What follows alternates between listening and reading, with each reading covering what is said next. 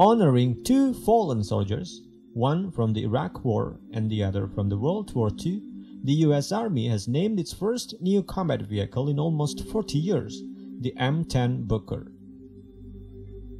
The Army's new M10, now formally known as the Mobile Protected Firepower Vehicle, will be supplied by General Dynamics Land Systems, who won the competition in June 2022, with the first delivery of the vehicle scheduled for November this year.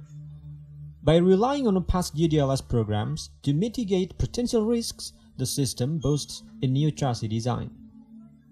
The turret, constructed with atypical materials, is predominantly new.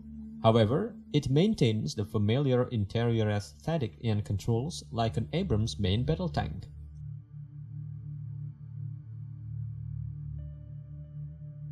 Initially, GDLS is set to provide 26 vehicles, with the option for the Army to procure an additional 70 during the low-rate initial production period at a total cost of $1.14 billion.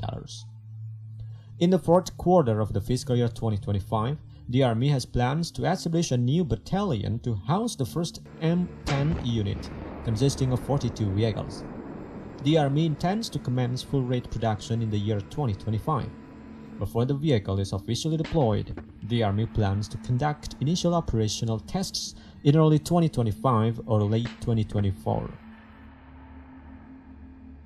During the procurement phase, the Army is projected to allocate roughly $6 billion towards acquiring mobile protected firepower vehicles, encompassing all prior investments made towards research, development, and prototyping endeavors. The complete program expense, including military construction, staff, and maintenance costs, is approximately $17 billion throughout its life cycle. The Army intends to purchase 504 vehicles, which they project will remain in their inventory for at least three decades. Most of the procurement should be completed by 2035.